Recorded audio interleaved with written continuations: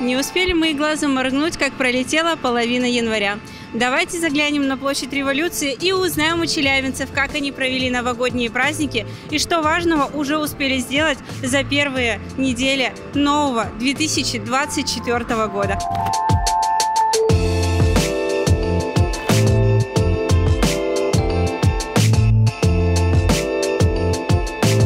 Расскажите нам, как вы провели новогодние праздники, что интересного делали? Конечно, в кругу семьи дома. Я в парке на Чонзе гуляла.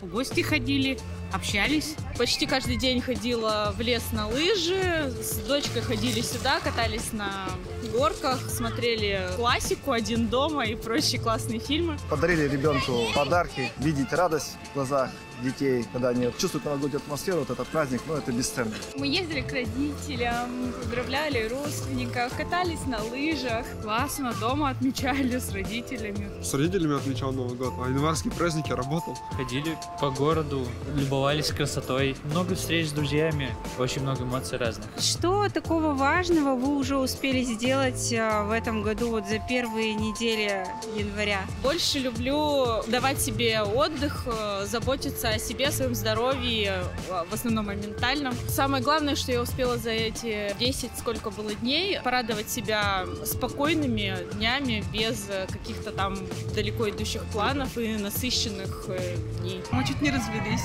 Но он ничего съездил в Тюмень, мы стали жить дальше. Он сказал, будет себя хорошо вести. Для меня, наверное, самое важное, что 1 января мне удалось спасти ребенка на пожар. Могу этим гордиться, и, наверное, это, это вот чувство, оно останется со мной на всю оставшуюся жизнь. Такие события не каждый день происходят, и дай Бог, чтобы они больше не происходили. Ну вот мы и узнали, что интересного произошло у челябинцев в первые дни января. Надеемся, что и для вас этот год начался прекрасно.